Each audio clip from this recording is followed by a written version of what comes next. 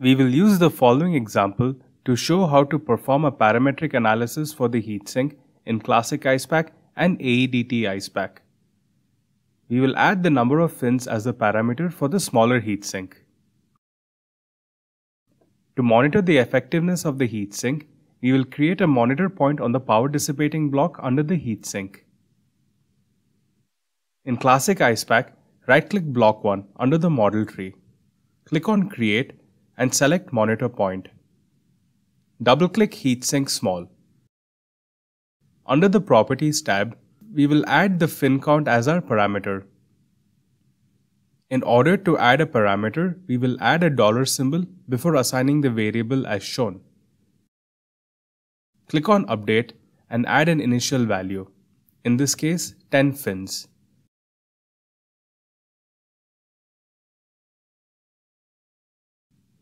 Click on the Run Optimization button and under the Trial type, select the Parametric Trial option.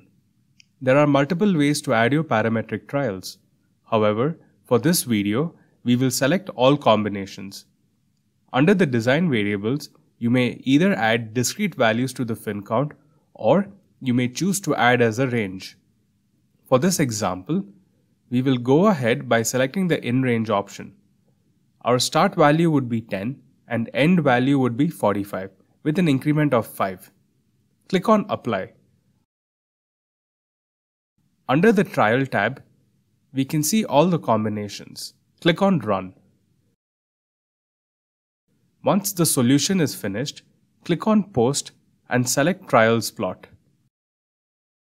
Ensure that the x variable is set to trial and y variable is set to temperature. Click on add point. Select block 1 and click on create. As you can see from the plot, the temperature of block 1 decreases with increase in the fin count and after a certain point the temperature increases due to an increase in fin count as it creates an obstruction in the flow of the fluid along its surfaces. In AEDT Icepak, we will use the same example as we did for Classic Icepak. Do note that it is recommended to use a user-defined heatsink for a parametric trial. The user-defined heatsink option is available under the Draw menu, User-defined model, Heatsink. Right-click Block 1 under the model tree. Select Assign Monitor and select Point. Under the Thermal drop-down, select Temperature. Select Heatsink 1, which is the smaller heatsink. Click on Parameters in the Properties tab. Add a variable to the fin count as shown. Add an initial value of 10 and click OK.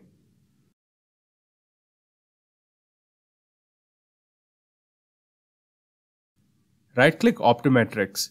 Click on Add and select Parametric. Click on Add and under the variable, select Count. Select Linear Step and start with 10 fins and stop at 45 fins with a step of 5. Click on Add and click OK. Under the Table tab, we can see the various fin counts defined. Click on OK.